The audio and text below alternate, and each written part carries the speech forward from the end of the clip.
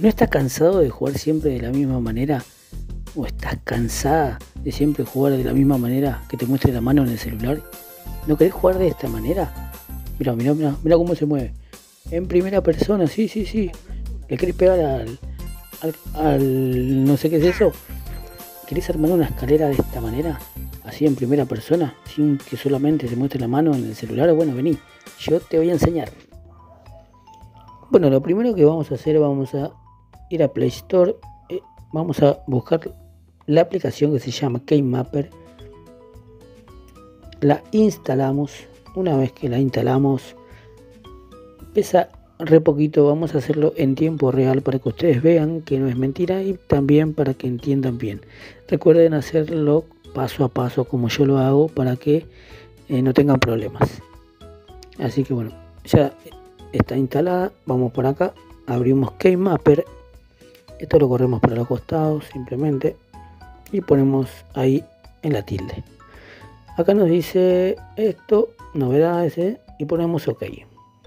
Esto donde nos aparece azul no le damos importancia. Lo que le damos importancia donde dice fix y fix. Apretamos el primer fix de arriba y nos va a pedir que habilitemos unos permisos. Ponemos activar y nos va a mandar acá. Una vez acá ponemos servicios instalados, ponemos Keymapper y activamos donde dice desactivado. Nos pide permitir a Keymapper controlar todo el teléfono, bla bla bla. Ponemos permitir. Vamos para atrás, para atrás y para atrás. Nos aparece ya en verde que está todo habilitado, ponemos en fix donde está rojo ahora, ponemos fix partially y ponemos permitir. Está todo bien ahora. Ahora nos vamos al signo de más. Apretamos el signo de más. No vamos a Tiger, donde dice ahí, vamos a acción. Una vez que estamos en acción, vamos a add acción. Y de ahí nos vamos a input keycode en el primero. Nos vamos al número 3545, creo que era. A ver, si keycode Q. Apretamos ahí. Ponemos Shizuku y nos vamos por atrás. Una vez que, está todo esto, dice a Keymapper y ponemos, no apretamos donde dice introduce Keycode Q. Apretamos ahí y ponemos Keymapper Basic Input Method. Habilitamos esa parte, ponemos aceptar, nos vamos para atrás y lo que vamos a hacer ahora ponemos el disquito este el disquito y guardamos esto. Una vez que guardamos esto, dice sin disparadores. ¿Qué significa esto? Que tenemos que darle un botón a esto. Ponemos introducir keycode y apretamos ahí. Ponemos fix y ahí está. Ahora nos sigue apareciendo sin disparadores. ¿Y qué hacemos? Apretamos de nuevo y nos va a mandar acá. Una vez acá ponemos en record trigger Apretamos y antes que se acabe el tiempo, apretamos el volumen de más. Ahí apretamos el volumen de más y nos dice que tenemos que dar un permiso. Ponemos en fix y ponemos en OK y ponemos en Keymapper. Nos aparece no permitido y lo habilitamos. Permitir. Listo. Lo permitimos, vamos atrás y nos aparece todo esto. Y, nosotros lo que hacemos, nos damos en el disquito que está abajo y apretamos ahí. Y nos aparece esto así. Bueno, ahora hacemos el mismo paso para F5. Vamos a ir a buscar la tecla F5. Ah, ponemos el signo de más, ponemos a Action, ponemos Add Action, ponemos Input Keycode. Vamos al número 135, me parece que era a ver F5 apretamos ahí y nos aparece esto. Agarramos ahora ponemos en el disquito este de abajo y nos aparece esto que dice sin disparadores. Otra vez tenemos que habilitar los disparadores. Apretamos ahí donde dice keycode F5 y nos va a decir que le demos un disparador a este apretamos el record trigger trigger, apretamos ahí y apretamos el volumen para abajo. Y, y ahí como ven, los dimos un, hacemos de nuevo el mismo paso si ustedes lo quieren, ponemos record trigger, el volumen para abajo, aceptar. Listo, ya hicimos todo esto. Ahora lo que hacemos es guardarlo en el disquito este. Guardamos y nos va a mandar acá. Bueno, está todo hecho esto. Ahora vamos a los tres puntos. Y donde dice Show Input Method Picker, apretamos ahí y nos aparecen dos teclados. El teclado Samsung y el teclado Keymapper, que está habilitado el teclado Keymapper.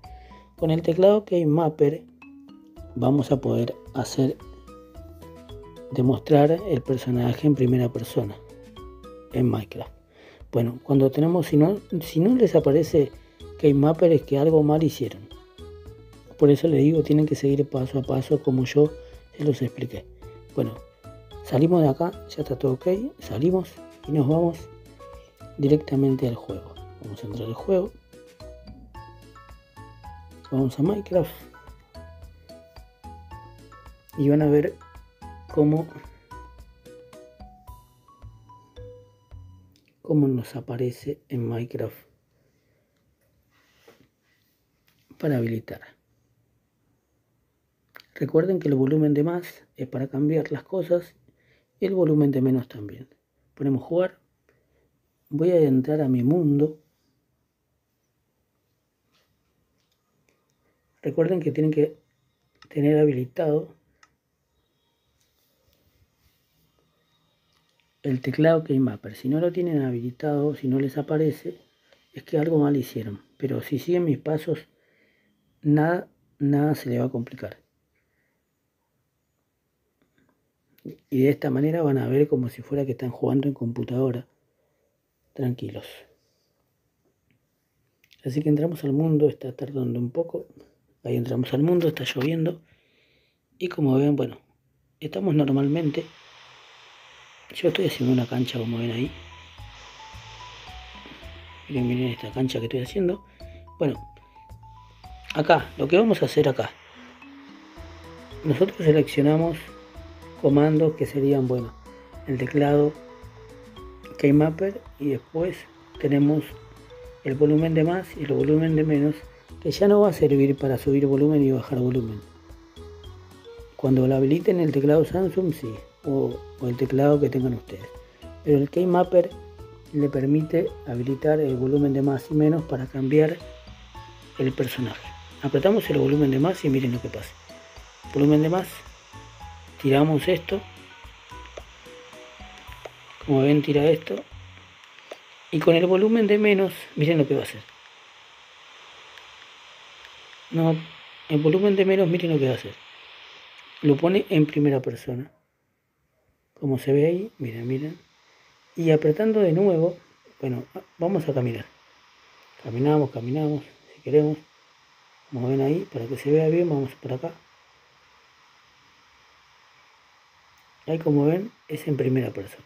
Apretamos el volumen de menos otra vez y miren lo que pasa.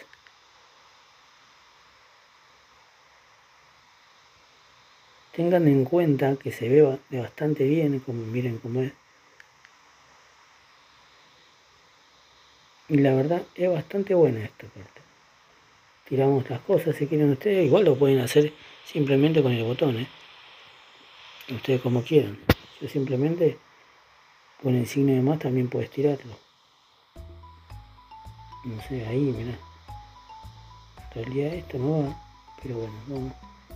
¿Entienden?